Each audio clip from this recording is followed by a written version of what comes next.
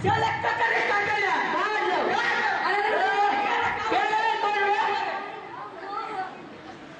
भाई तुम इन हरे हरे वृक्षों को क्यों काट रहे हो? अरे तेरा इतना पता नहीं है। पेड़ काटने के पैसे नहीं के पेड़ परिवार के लिए। क्या तुम्हें मालूम नहीं कि इन हरे हरे वृक्षों को काटने से क्या हानियाँ होती हैं? क्या है? हमको कुछ नहीं मालूम। हमको सिर्फ़ पैसे से मतलब है। अरे भाई पैसा तो तुम दूसरे भी ढंग से कमा सकते हो। अरे मेरे जब तुम इन पेड़ों को काटेगे तो पृथ्वी पर तो प्रदूषण फैल जाएँगे। तुम तो देखते ही होंगे समय पर वर्षा नहीं होती गर्मी के दिन में अत्यधिक गर्मी होती और तुम इन हरे भरे वृक्षों को काट दोगे तो पृथ्वी का संतुलन बिगड़ ही जाएगा ना? और इस पृथ्वी पर तो विनाश ही विनाश हो जाएगा। और तुम्हें मैं एक बात बताता हूँ वृक्ष को भगवान कहा गया।